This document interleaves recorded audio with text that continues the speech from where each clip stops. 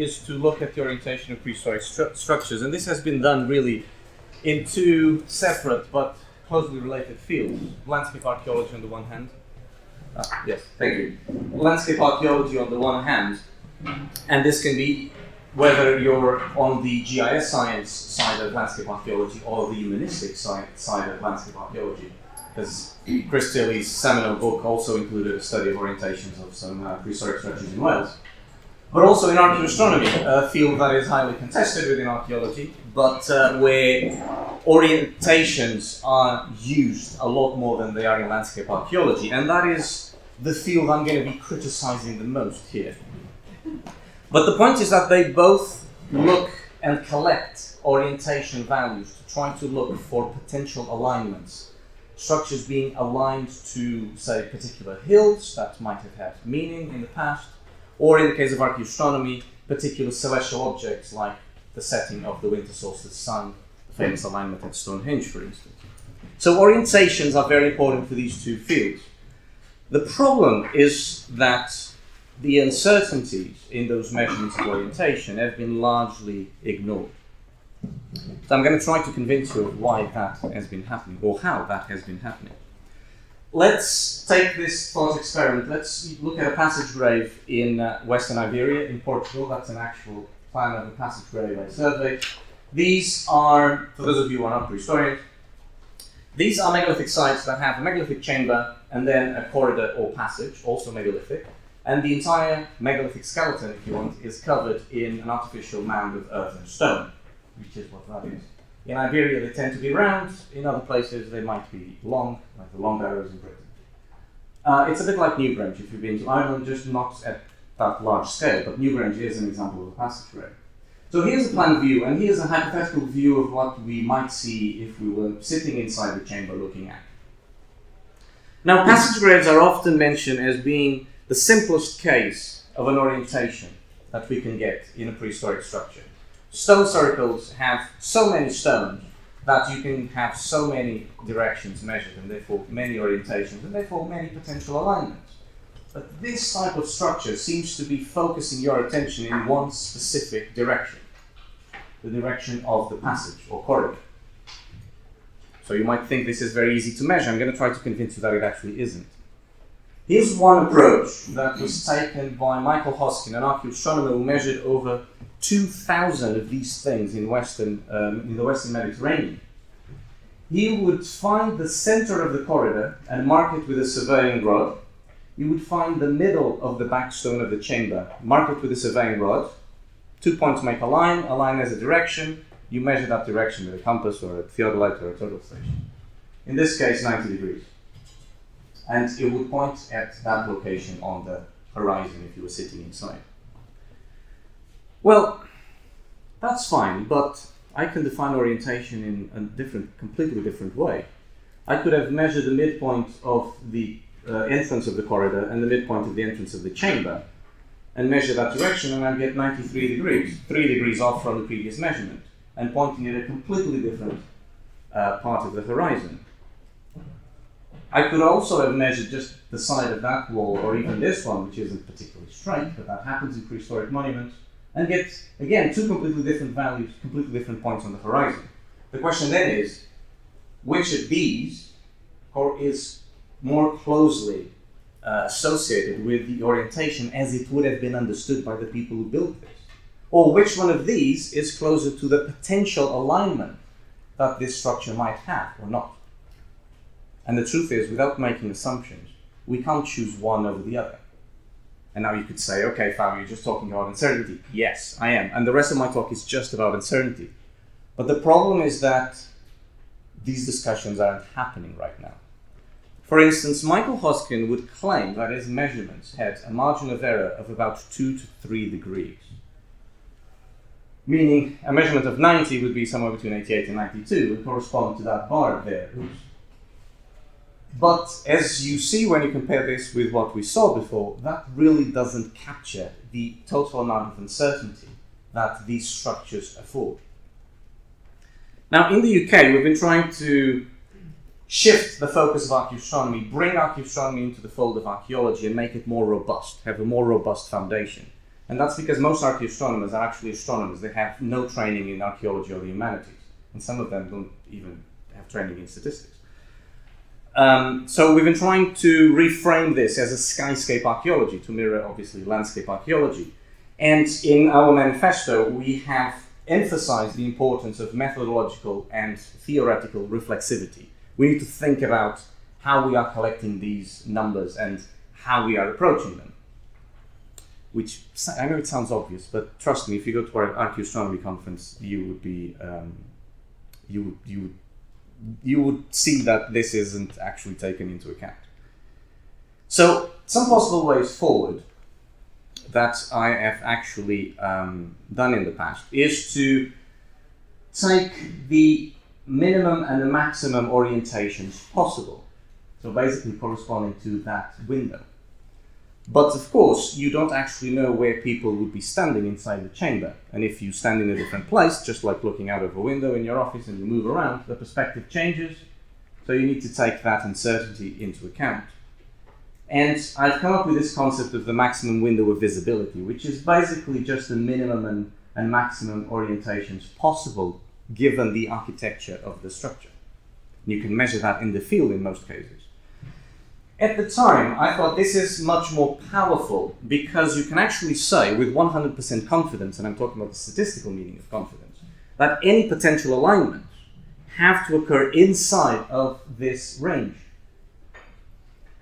Now, whether it's going to happen in the middle of the range, or further to the left or to the right, or matching a peak on the horizon or a notch on the horizon, Claiming those things are going to involve assumptions or independent evidence. And in the absence of those things, this is a much better tool.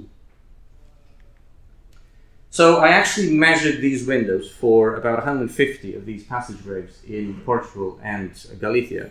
And this is a histogram of the half widths compared with Hoskin's uncertainty value of 2 to 3 degrees. And you can now see more clearly what I mean by the uncertainty having been, having been underestimated or completely ignored.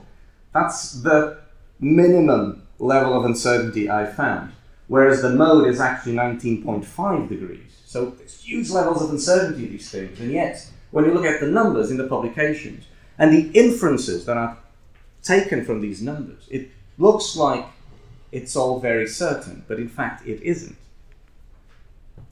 And when you use that window approach and you actually look at a clearly identified archaeological cluster of sites, similar sites, same, same, um, um, same artifactual assemblages, etc., same architecture, you actually start to find patterns where before no patterns were found. That's because when you underestimate uncertainty, you don't see overlaps, but they are actually there. This is all work I've done before, I don't want to bore you with it. I want to try to move it forward by starting with a solid statistical basis. And I think the beginning of this should actually be to rethink the very concept of orientation or how we approach the concept of orientation. The usual question in orientation studies is what is the orientation of this structure? Now, that question affords a single answer. It's looking for the orientation, one orientation, one value. I think it would be much more useful to think of this as what orientations does this structure afford? Because as we saw before, there is a range of orientations that are possible. So one should be exploring the affordances of a structure with respect to potential alignments, and I'm using the word affordances here in a way that will be familiar for those of you who do GIS. Um, but I don't want to go in that direction today. I want to focus on the method, and the method is statistics and it's a probabilistic framework for these for these studies. So let me explain how this works. As an example, I'm using Richard Bradley's survey data from his excavation of the Tomnaverie recumbent stone circle. So instead of using the passage grave I've shown you before, which, as I said, is probably the simplest case, I'm going to show you a much more complicated case. Now, these recumbent stone circles that appear in um, Aberdeen, in Scotland, they were built roughly between 2500 and 2000. We don't have exact dates for these things. They're composed of several stones. There's two or three miss missing on this side. But the key feature is this recumbent stone with two flankers on the side, that are kind of providing this frame. And both archaeologists and archaeoastronomers have claimed that it is kind of framing something. Sometimes it's the landscape, sometimes the skyscape. And these sites have been surveyed by both archaeologists and archaeoastronomers, but they both make the same mistake. They always make their orientation measurements from a putative center of their circle. Now, don't be fooled by the name. these aren't circles, they're not geometrical circles, so there's no one center. And furthermore, the center is not archaeologically defined. There's nothing in the center that would give you a hint that people were actually standing there looking at something. So, big, big question mark there. The other thing is they usually go through the center of the recumbent, but again, that's assuming that symmetry, or the idea of center and middle, was as important for the prehistoric Britons as it is for us today. And that's, in my view, a big ontological assumption. So what do we do? We take the survey data and we first create an open polygon, in this case it's a line, with the shape of the structure, where we're basically blocking out the areas that, in this case, we're not interested in. We are interested in visibility through the recumbent. So we're leaving the recumbent arrangement open and blocking everything else. Bear with me, this will make sense in a second. Then we can create a closed polygon that corresponds to our uncertainty in where people would have been standing to observe any potential alignment. I could have used the entire circle, but I'm actually using this area that is limited by a curve that is very clear in the archaeological record, much, much, much clearer than where the stones are standing. But I could have used any, any area I wanted. It's, this is just an example. And then, of course, you can take a point inside this area and you can obtain the range of orientations that don't touch the polygon, the line. Basically, the azimuth range that goes through the recumbent arrangement. You can repeat this for another point and another point, and you can see where I'm going with this. If you take a regular spatial sample of points in this area and you just repeat this for every single point, you will get a number of azimuth values that you can then use to get a probability distribution by simply using kernel density estimation, which is what I've done here. And you can immediately see that there's a huge range of azimuths possible from within that structure. It makes sense. These things aren't particularly big. And it peaks at a particular value. That's not a normal distribution. Um, but it is a probability distribution and we can now use it to do much more interesting stuff, in my view. So we could, for instance, compare it with hypotheses for alignments, in this case, celestial alignments. So that's where the December solstice sun would set. You can see that indeed, you can see it from, you can see it from inside the frame of the recumbent, but it's not particularly close to the peak. I'm not saying that's important, I'm just highlighting or describing what, what we're seeing there. The summer full moon is uh, Richard Bradley's and Clive Ruggles, the archaeoastronomers, best explanation for these structures, that they were framing the setting summer full moon. But the full moon changes every year. Its rising and setting position changes every year, and it, it, only, it only gets back to the same place 19 years later. So you have this broad range of possible azimuths for the, the setting summer full moon, but again, far from that peak. However, what is close to that peak, and I found that interesting, is Orion's belt, the belt of Orion's constellation, this massive constellation that is very visible in the night sky, even in the light polluted skies of London. Today, you can, you can see it. And in fact, this was suggested by uh, a colleague of mine, Liz Henty, who did a more phenomenological approach to this site and identified that actually the image of Orion setting over the recumbents would have been, thank you, would have been quite spectacular. So maybe this is a suggestion that needs to be considered in more detail. This is certainly what this data seems to suggest. But more importantly, with this probability distribution, we can actually use more robust statistical inference methods.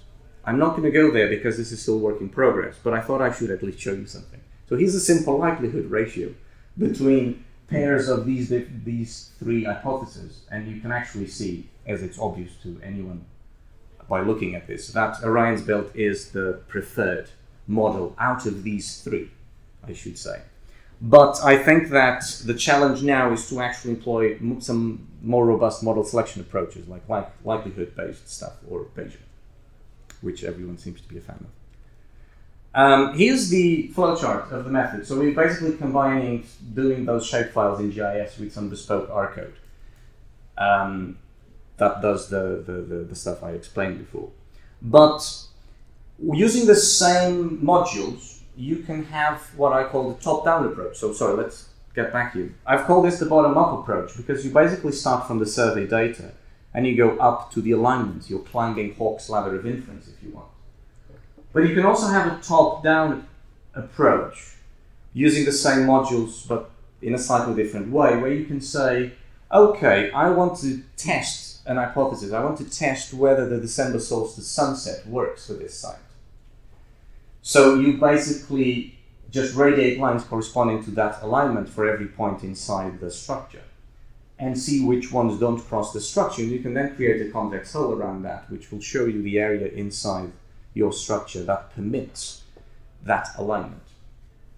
And that can lead into interesting things like directed fieldwork or crowd models, which I'm going to mention here. So here's an example for the same site. You would only be able to see the December solstice sun from this green area, and using Jacobs' uh, model for crowd estimation, you could fit about 48 people there if it was a loose crowd, 106 if it was tight crowd, or if it's a mosh pit scenario. I kid you not, that's what Jacob calls it. Um, 192 people for the summer full moon, because of that sweeping effect of the summer full moon, it's a much larger area, but this is over a period of 20 years. In any one year, it would be a much thinner uh, band.